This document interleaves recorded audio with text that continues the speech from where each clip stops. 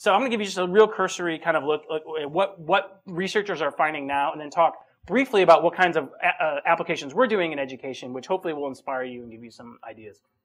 So this comes from Mimi Ito's work, um, looking at uh, youth um, in, in, urban areas, and she finds three core practices, uh, all of which are probably familiar to most of us. Um, the first one is cocooning. So what we see with mobile media is that people are using them in, in, a way to build a cocoon around themselves when they're in highly public spaces. So I just got back from London, and on, on the tube you see a lot of this. People are essentially using their media device so they don't have to look up and, and make uncomfortable eye contact with other people or whatever.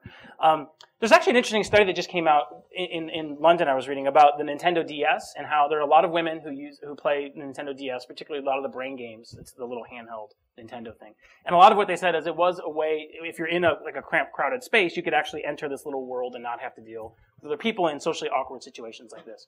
The second one is camping, and I, I bet everyone knows this one. This is essentially when you go to a coffee shop and you plop all your stuff out, and then you now have everything you need. You know, you've got your CD, your entire CD collection on your MP3s. You've got your wireless. You've got you know connect. You could you know you could kind of live there forever with the, keep the caffeine coming.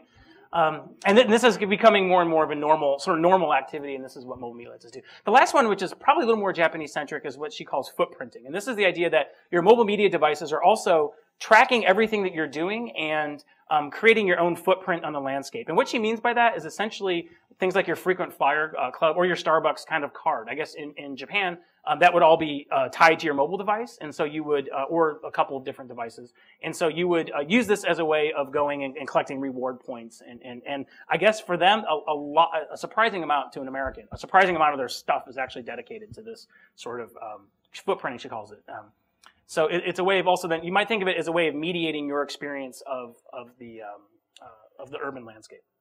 Um, so another entirely different one is geocaching. Um, people probably have heard of this. This is the idea that you're using uh, GPS uh, devices that, that, let you know again, where you are um, in time and place, and then you go and kind of do scavenger hunt activities. Um, there are, last I knew, there were about a dozen around just kind of this Bascom uh, Hill area. If you're kind of curious, you, you, could, you could get one. Um, it used to be a little bit, this used to be kind of a fringe activity. In some ways it maybe is, but I think now that you have things like hardware GPS in, in iPhones, and, and as they become more and more standard, um, you're going to see more and more people uh, doing this kind of thing or offshoots of them. Um, this is one of my favorites. So th- these are um, uh, kind of like flash mobs. Um, this was a pillow fight in Toronto that happened that people um, put together only through kind of text messaging and saying, okay, we'll show up at a certain place at a certain time. Everyone bring your pillow. We're going to have a giant pillow fight. And um, would have been awesome to have just stumbled upon this. but um, this is another, and, and there's in a, in a, much less kind of drastic version, you see kids, and, and really adults doing this all the time. If you've ever had to travel, if you, if again, if you have a uh, cell phone hooked to you and you've had to travel without one, you know how hard it is to meet up with someone. When you go, okay, I'll just text message you and we'll meet up, and you think, well, how, how did they do this before we had before we had cell phones. I guess you did a lot of planning. Um, so whether or not whether or not everything is a pillow fight, the idea that you are using this as a way of doing ad hoc social organizing on the fly is, is, is uh, becoming completely uh, ordinary. Augmented reality games are games that um, take uh, place in the real world. I'll talk a little bit more about them, but then put a layer of data over it. So in this case, they actually have a giant physical object, but most often it's actually virtual things. So there's a virtual Pac-Man in New York where you can play Pac-Man on the streets of New York. Uh, our stuff is, is a little maybe more mundane. I don't know. We have virtual uh, uh, murders. There's actually the Dow, Dow Day game. Some of you may have seen uh, one of my students, Jim Matthews, designed that lets you relive and investigate the um, uh, the um, the Dow Day riots on Bascom Hill um, uh, 40 years ago. Um, one of the interesting places you see this happening is within cell phones and citizen journalism. Um, so if you, um, one of the first places this really became known to the, to the world was in the first-hand accounts following the London uh, bombings on the tube, where most of the news coming out was happening on cell phones, a lot of cell phone video that was being uploaded very quickly. So the news reports, the um, uh, like the BBC was just sifting through this stuff and then trying to put together the story based on what what people on the ground were, were taking. Um, that's kind of a real basic version. The, um, it's actually had some pretty important social consequences. So this is from uh, the Myanmar province, where a lot of the news reporting that came out to the West was from journalists with cell phones. And you, as you may know, there's a lot of uh, censorship. You're not supposed to. Um, internet connectivity is really limited, but you can actually take a video from a cell phone, um, upload it, share it, and uh, government was unable to track it. And so a lot of news got out that they didn't necessarily want out. So now the point that cell phones are um, they're trying to ban them as much as they can. Um, within our own elections, we've seen some things. So this is that quote that, that's still in the news to some extent by Barack Obama. Um, where he's talking about the bitterness around guns and things. If you're watching the news at all, you're probably familiar with this. What was interesting is this was also picked up by a cell phone from a person who was a journalist and not really supposed to be there recording. Um, but it's again, it's an example of how a mobile device has really colored and changed the nature of, of our political discourse. This was to give you the whole context. I won't go into that. Um, but what's interesting, well, yeah, what's interesting is the person directly published it it went around the, the, the, the, mainstream media. The mainstream media did not, this is the actual full quote. They didn't provide that because it was less, uh, probably interesting to, to them, less controversial.